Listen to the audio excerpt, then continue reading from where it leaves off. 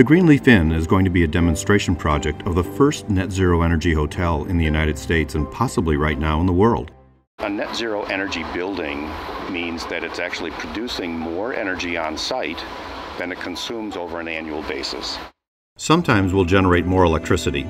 Sometimes you'll be using some electricity from the grid, but on an annual basis, we'll actually be generating more electricity on site than is consumed. And that will be done actually with seven different energy systems. We have our 50 kW endurance wind turbine, the turbine will generate enough electricity for about nine homes on an annual basis. We will have solar photovoltaic panels that are roof mounted. That will be about a 30 kW array. In addition, we will have 15 kW ground mounted solar electric system. There will be a dual axis tracking solar electric system. By tracking the sun throughout the day and the season, it will increase the production by about 30% compared to a fixed mount panel. We are installing a combined heat and power or cogeneration system which generates electricity and hot water simultaneously, burning a single fuel natural gas.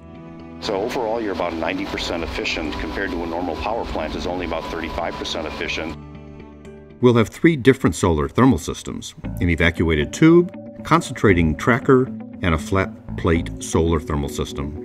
So we'll be able to tell you which one works better under different conditions throughout the year. Summertime versus a little bit of cloud versus which one works better in the wintertime. An outdoor wood boiler will be added for heating in the winter and hot water as needed. Wood is a renewable resource. Heating and cooling will also be done with a geothermal system. A geothermal system will make us hot water as well. And finally, a thermal storage system which will move the energy around between the different thermal energy systems. This 1,250 gallon insulated R80 energy storage tank is buried underground. The Greenleaf Inn is the demonstration project to experience all of the renewable energy systems that are available. For more information, please go to greenbuildtv.com.